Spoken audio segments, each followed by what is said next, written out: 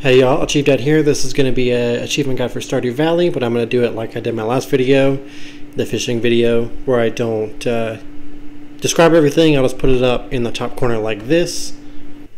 So yeah, pretty simple, just the name of the item and where you get the blueprint for it.